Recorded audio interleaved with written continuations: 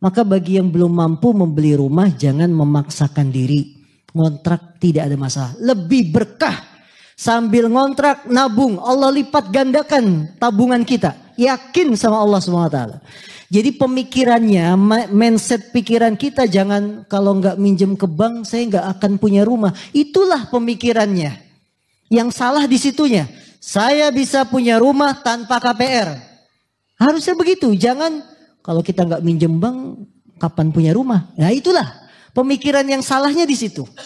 Ini sikap pesimis. Harusnya tanamkan dalam hati, saya bisa punya rumah tanpa pinjaman ke bank.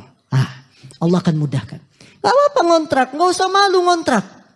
Kalau memang niat kita tulus ingin meninggalkan riba, Allah akan mudahkan untuk punya rumah tanpa riba.